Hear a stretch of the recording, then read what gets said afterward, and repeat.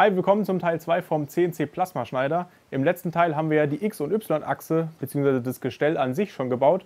Heute geht es erstmal um die Z-Achse. Und zwar verwende ich da tatsächlich, wie am Ende vom ersten Video schon erwähnt, so eine kleine Gleitspindel. Das ist eine Kunststoff-Gleitspindel, also mit einem Kunststoff-Gleitlager von der Firma Igus. Das habe ich mal auf einer Messe kostenlos bekommen und daraus werde ich die Z-Achse bauen.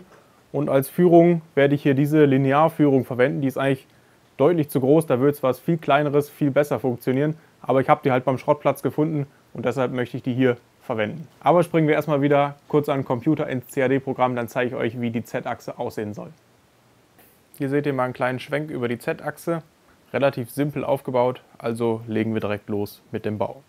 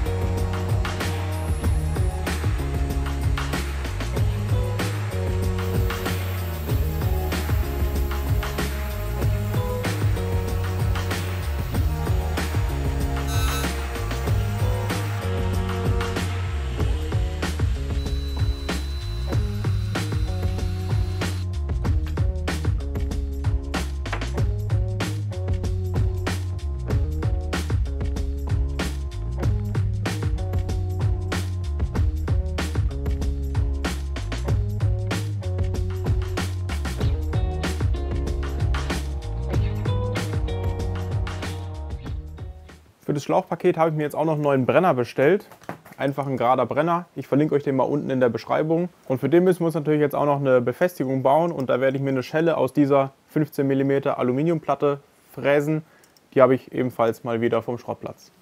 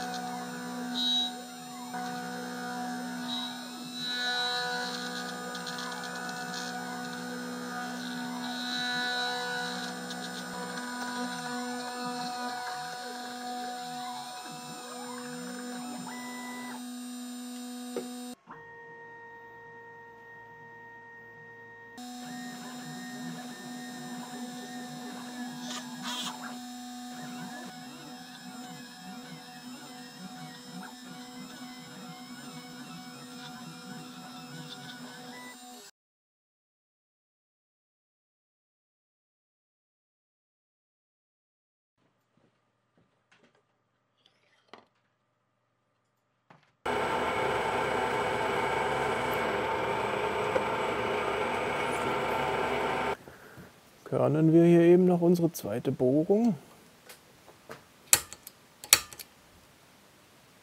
Nachdem wir jetzt die Körnung hier noch mal ein bisschen korrigiert haben und hier so einen halben Bombenkrater jetzt drin haben, brauchen wir jetzt auch nicht mehr vorbohren.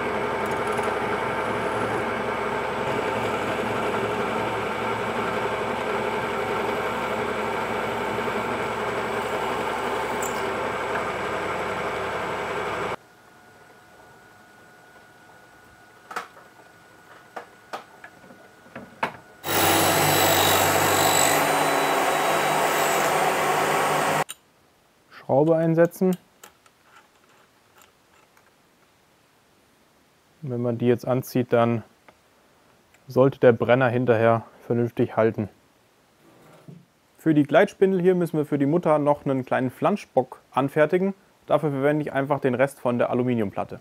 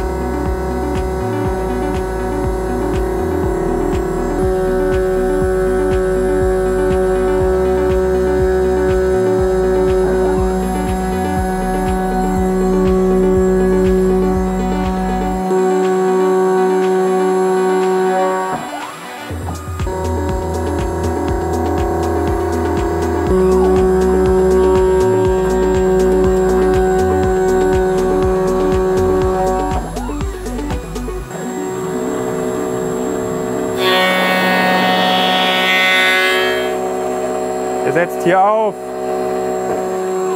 Kannst dich ändern.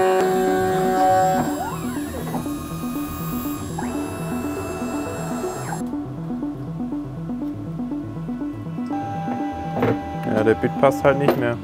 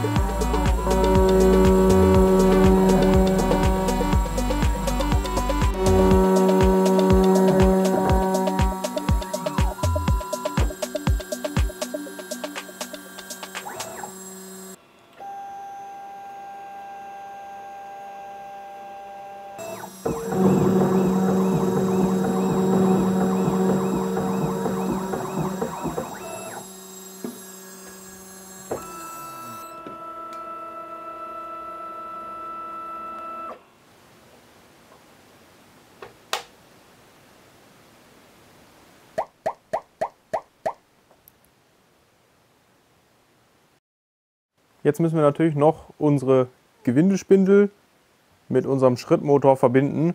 Und dafür hat mir ein Kollege freundlicherweise so einen kleinen Adapter hier gedreht, beziehungsweise eigentlich ist es nur auf der Drehbank gebohrt.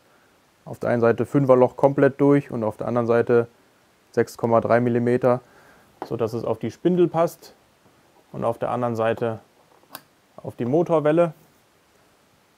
Und ich werde jetzt einfach nur noch zwei kleine Bohrungen machen, dass wir dann eine Madenschraube reinschrauben können, um die Wellen entsprechend zu klemmen.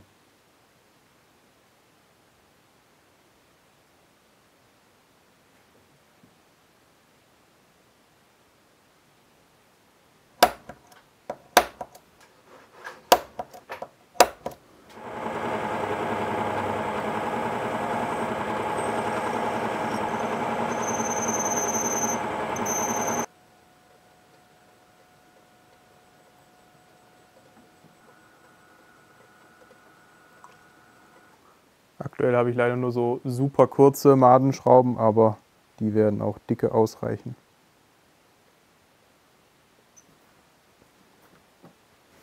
Können wir unsere Kupplung jetzt hier drauf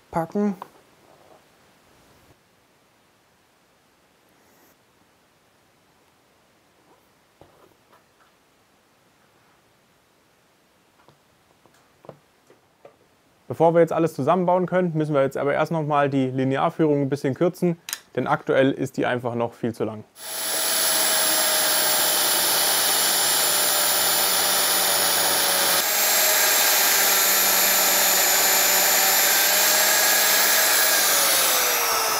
Nachdem ich das jetzt hier abgetrennt habe, sollte man auf jeden Fall hier die Kanten noch ein bisschen schleifen.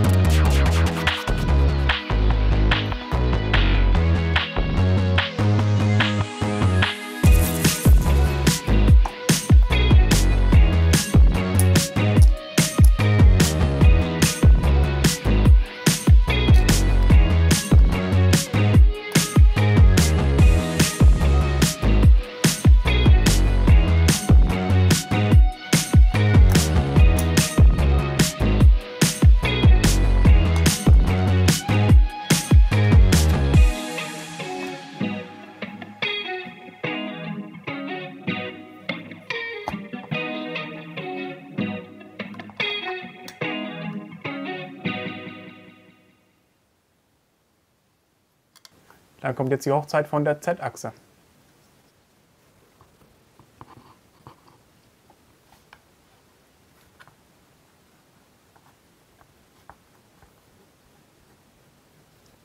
Man kann jetzt hier oben auch sehen und hören, der Endschalter wird durch die Führung betätigt. Und wir können so eben unseren Brenner hoch und runter fahren.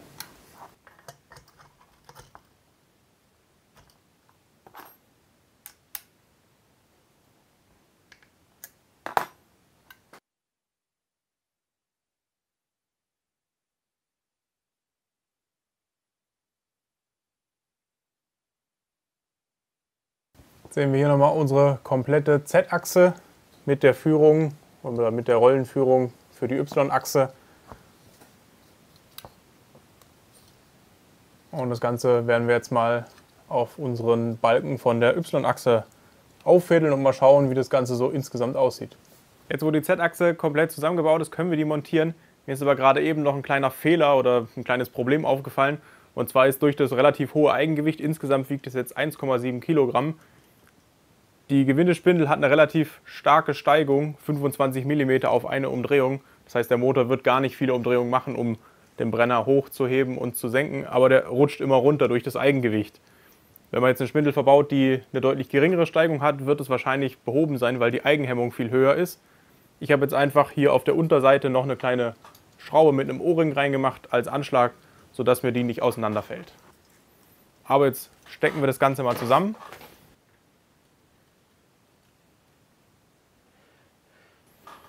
Und jetzt muss ich das Ganze noch hier zwischenschrauben.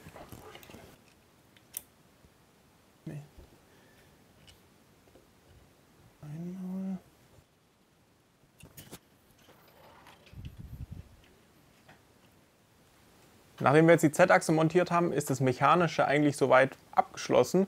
Und wir können aber beim nächsten Mal mit den elektrischen Komponenten weitermachen und schauen, dass wir das alles richtig aufbauen um die ganze Kiste auch zeitnah in Betrieb nehmen zu können. Falls euch das Video mal wieder gefallen hat, gerne aufs Däumchen drücken. Bis zum nächsten Mal. Macht's gut. Ciao.